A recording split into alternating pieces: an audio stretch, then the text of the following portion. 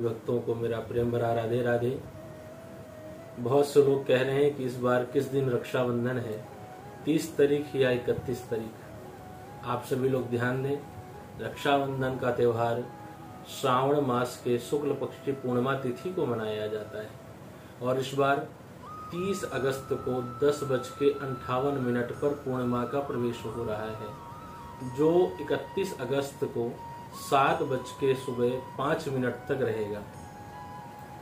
इस दिन भद्रा का प्रवेश हो रहा है और भद्रा में राखी नहीं बांधी जाती है। भद्रा का मुख हो, चाहे पुक्ष भाग हो, उसमें राखी नहीं बांधी जाती है। अपने भाई की दीर्घ आयु के लिए, सुख समृद्धि के लिए बहनें अपने भाई की कलाई पर राखी बांधती हैं।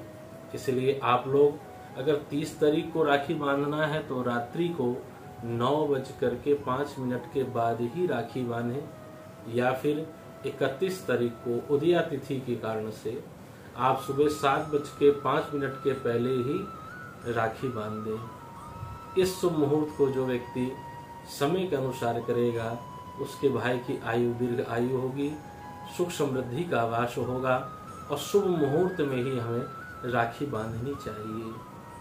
पहले मस्तक पर तिलक लगाना चाहिए फिर थोड़े चावल लगाना चाहिए और भाई के दाहिने हाथ पे राखी बांधी जाती है या मौली बाँध सकते हैं। और बहनें भाई को आशीर्वाद देती हैं। तो आप सभी लोग जो लोग उदया तिथि से मानना चाहते हैं, उदया तिथि के अनुसार वह इकतीस तारीख को कर सकते हैं। और जो तीस तारीख को करना चाहते हैं, वो भद्रा के पश्चात रात्रि नौ बजकर के पाँच मिनट के बाद से आप राखी बाँध सकते हैं। आप सभी को रक्षाबंधन की बहुत बहुत शुभकामनाएँ। राधे राधे